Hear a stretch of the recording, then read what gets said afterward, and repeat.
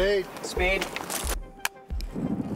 So this little gun has taken the concealed carry market by storm. It's only a few years old, but we've sold over a million of them. This is my personal carry gun. This is a Smith & Wesson M&P Shield in 9 millimeter. Little guns, concealed carry guns, are often a little bit more difficult to shoot. They kick more, they're lighter, they have a shorter sight radius, meaning that the, the barrel's a lot shorter. But what I love the most about the M&P Shield is it actually shoots like a full-size gun.